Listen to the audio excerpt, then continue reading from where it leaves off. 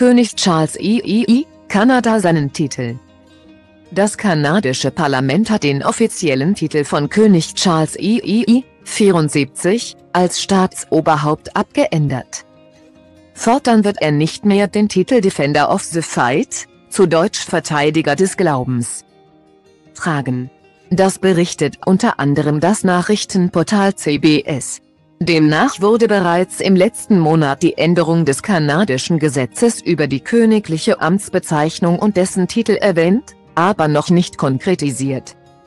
Jetzt wurde die genaue Formulierung bekannt gegeben. Der offizielle Titel lautet Charles III. By the grace of God King of Canada and his other realms and territories, Head of the Commonwealth. In die deutsche Sprache übersetzt, Charles III., von Gottes Gnaden König von Kanada und dessen anderen Gebieten und Territorien. Oberhaupt des Commonwealth. Das Gesetz wurde zuvor 1985 angepasst, wonach die damalige Monarchin Queen Elizabeth II, 1926 bis 2022, noch den Zusatz Defender of the Fight trug. Zusätzlich war in ihrem kanadischen Namen noch Königin des Vereinigten Königreichs enthalten, was ebenfalls nun entfällt. Die Kommunikationsdirektorin des Königlichen Rates des zuständigen Ministers Bill Blair, 69, sagte zur Gesetzesänderung, da wir uns auf die Krönung des neuen Monarchen vorbereiten.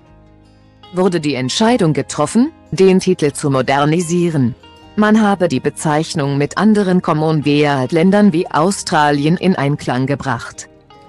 Die Bezeichnung Verteidiger des Glaubens ist bereits seit einigen Jahren immer wieder in der Diskussion.